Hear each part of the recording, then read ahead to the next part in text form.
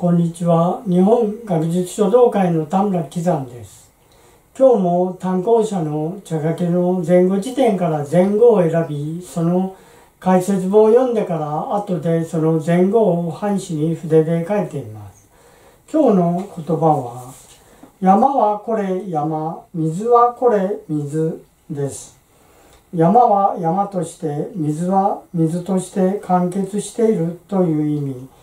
天はこれ天、地はこれ地、などとも言われます。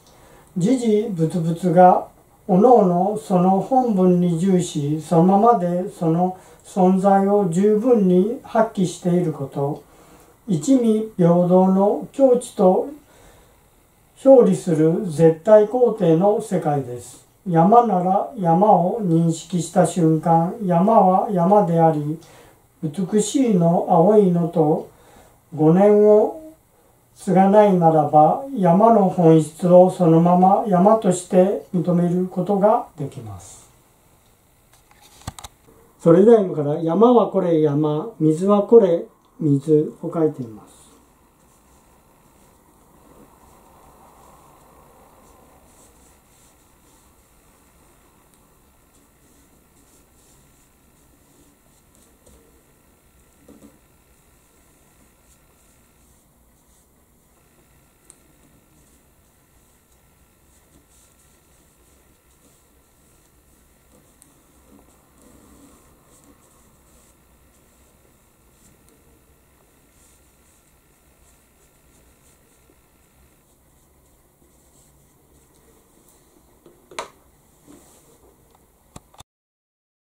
最後までご覧いただきありがとうございました。